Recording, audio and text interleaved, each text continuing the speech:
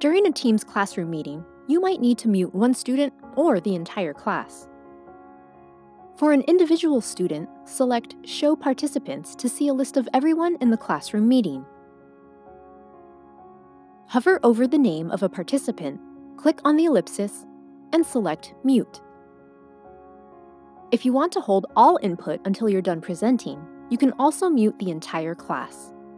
To keep everyone muted, select the ellipsis at the top, and then select Don't allow attendees to unmute.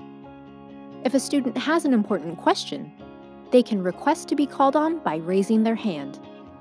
You got it!